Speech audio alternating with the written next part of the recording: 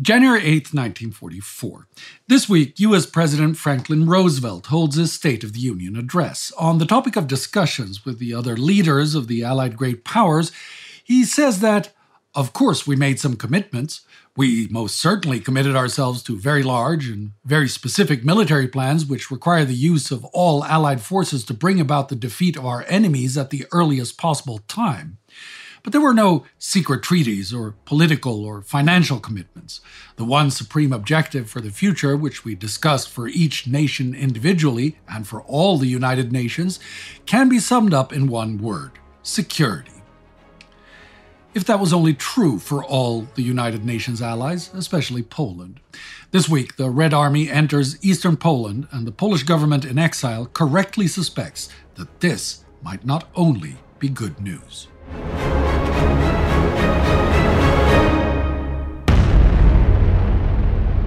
This is War Against Humanity, a series of World War II in real time. I'm Spartacus Olsson.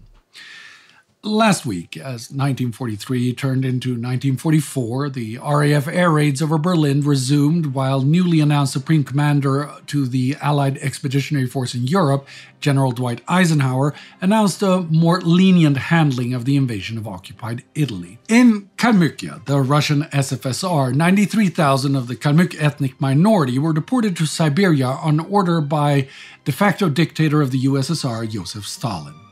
Many of the deported will die from the harsh conditions of the journey. The US Senate and White House took steps towards a continuation of the United Nations alliance to preserve peace and stability in the world after victory had been achieved. In occupied Yugoslavia, the Wehrmacht again failed to destroy Tito's partisans, but captured a strategically important position in the Adriatic. The failed anti partisan Operation Schneesturm now segues into the tactically more conventional Operation Waldrausch. The partisans hold positions that threaten the Axis supply and communication lines from Bosnia to the Dalmatian coast. More specifically, the lines from Slavonski Brod to Konjic. The shift in tactic is to attack these positions straight on and take them, rather than trying to flush out and encircle Tito's forces. Obviously, Tito hasn't gotten any memo announcing that change. His headquarters in Jajce assesses that the advancing German and Croat forces are once again making a surrounding move, so they evacuate their positions and flee east. The winter weather soon complicates the Axis effort, slowing down the advance and disrupting communication, aggravating an already troubling lack of supplies and weapons. Tito's forces, on the other hand, are relatively well equipped with looted weapons or materials supplied by Allied airdrops. They know the area well and can move rapidly and discreetly. With the Axis forces slowed and weakened, the partisans, using these guerrilla tactics, are able to pin down the numerically superior enemy units. The battle will go on for many weeks, but details of the single encounters and movements are scarce. What is clear is that whenever the Germans will capture and clear a position, set up a holding force, and move on to the next fight, the partisans will often recapture the position within days or a fortnight. Ultimately, by the end of the operation on February 14th, the German led forces will have managed to reopen most of the vital roads and railway lines, but a decisive victory over the partisans will remain out of reach. Tito's men and women will continue harassing the positions of the occupiers and collaborators, forcing them to spend their forces holding on by their teeth. Remember how in July 1943, Benito Mussolini was ousted from power by a 19 to 8 vote by the Grand Council of Fascism. On the morning of January 8, 1944, in the Castelvecchio di Verona, six of these 19 stand trial in a special tribunal. Among the defendants are former fascist leaders like Giovanni Marinelli, Luciano Gottardi, and Carlo Pareschi, as well as Marshal of Italy Emilio de Bono and former Minister of Foreign Affairs and Mussolini's son in law, Count Galeazzo Ciano. All of them, as well as a number of fascists who are tried in absentia, are charged with treason. Reportedly, Count Ciano denies all charges, crying out that, I may have made a mistake, but do not accuse me of treason. That is in vain because the trial is held by a kangaroo court with a foregone conclusion, except for Tullio Cianetti, who wrote an apology letter to Mussolini and is sentenced to 30 years in prison. All of the defendants present during the trial are sentenced to death. In two days, on January 10th, they will be executed by firing squad next to the Verona prison. Now, this event has a remarkable side story. A few weeks ago, Ciano's wife, Edda, Mussolini's daughter, made a move to save her husband from what was clearly inevitable death. She pleaded with her father to no avail. She then recruited the help of two other women, a Nazi German spy and an Italian prominent banker's daughter. The spy had been sent by the Germans to get her hands on and destroy Ciano's extensive diary that details a whole slew of Axis war crimes and essential strategic secrets. The three women grew close and found that they were all, how should I say it, well, they had had enough of the Nazi and fascist commedia dell'arte. So, when faced with the impossibility of saving Ciano, they came up with another plan get his diary and give it to the British or American. You'll have to wait for a special episode in Astrid's series Spies and Ties to see how that goes. And while Italian fascists kill Italian fascists, famine is still killing people in Bengal British India. Viceroy Archibald Wavell's relief operations to redistribute rice using 15,000 soldiers, his ban on rice exports from the province, and the effort to import more food have not had the hoped effect. That has, however, gone largely unnoticed by the government and the press. The popular Indian newspaper, The Statesman, publishes a review of the bygone year and concludes that the Bengal famine of 1943 is not something that continues in 1944. That's not quite the full picture. Freda Bedi is sent out to report in the Bengal countryside on behalf of the Punjab Tribune and offers a different perspective. Look into the faces of the middle class and the poor. Some of them have got a haunted look. They are thinner. Tell me, I said to one, is the famine over, at least the worst of it? Good God, no, was the reply. They have only made Calcutta more comfortable for the rich to live in. They have pushed the inconvenient sites back into the villages.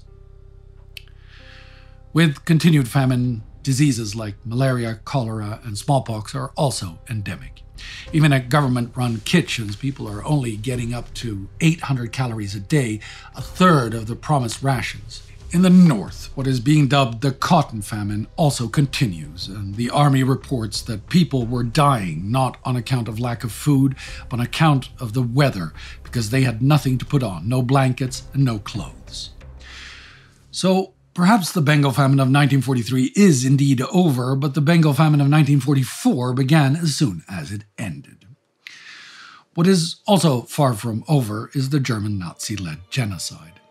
At Auschwitz, the SS reports show that in the last month of 1943, 8,931 female and 5,748 male prisoners died. 4,247 of the women and an unknown number of the men were selected for murder in the gas chambers. It does not include the murders on arrival or reported on as they happened. While no new transports arrived this week. Another 144 people stricken by the ongoing typhus epidemic in the camp are murdered by gas after selection in Auschwitz II Birkenau. And so, in over 1,000 camps all over the territories held by the Nazi German Reich, this week the horror of everyday life continues. But that territory is shrinking, and shrinking quickly. On January 4th, the Red Army reaches the pre war Polish Soviet border. They have yet to enter the parts of Poland they themselves invaded and occupied in 1939. Now, British Prime Minister Winston Churchill and US President Franklin Roosevelt have already more or less agreed with Stalin that these lands in eastern Poland shall become part of the Ukrainian SSR after victory. The Polish government in exile do not know this, but they have no illusions about Stalin's general intent for Poland. With the Soviet liberation of the most eastern Polish villages just days away, the Polish government in exile releases a preemptive statement. In their victorious struggle against the German invader, the Soviet forces are reported to have crossed the frontier of Poland. The fact is another proof of the breaking down of the German resistance, and it foreshadows the inevitable military defeat of Germany. It fills the Polish nation with hope that the hour of liberation is drawing near. Polish forces have been fighting ceaselessly in the air, at sea, and on land, side by side with our allies. There is no front on which Polish blood has not been mingled with the blood of other defenders of freedom. There is no country in the world where Poles did not contribute to furthering the common cause. The Polish nation is therefore entitled to expect full justice and redress as soon as it will be set free of enemy occupation. The first condition of such justice is the earliest re establishment of Polish sovereign administration in the liberated territories of the Republic of Poland and the protection of life and property of Polish citizens. The Polish government expects that the Soviet Union, sharing its view as to the importance of future friendly relations between the two countries in the interest of peace and with the view to preventing a German revenge, will not fail to respect the rights and interests of the Polish Republic and of its citizens. Now, Despite the diplomatically phrased but rather clear concerns they express here about continued sovereignty, the government in exile now directs all Polish resistance fighters to cooperate with the Soviets and collaboratively fight against the German occupiers. Geopolitically, mm, liberation or not, the arrival of the Red Army is for many individuals newfound hope. Alex Levin fled into the Polish woods when the Rokitno ghetto was liquidated and its inhabitants were shot in the fall of 1942. He will recall the moments the Red Army came into the forest. Finally, on January 6, 1944, the Red Army liberated Rokitno and began to pursue the Nazis to the west. Those of us who had survived were like wounded animals.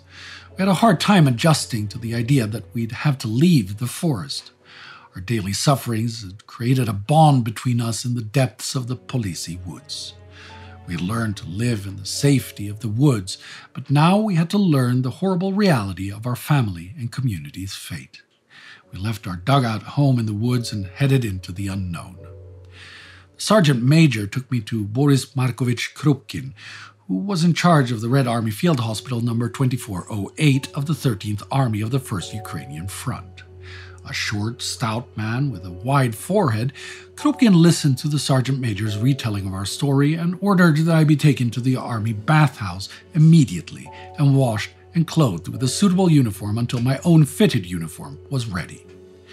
That's how I became the so called son of the regiment, a recruit of the field hospital, and officially an orphan. I was 11 years old. Never forget. thank you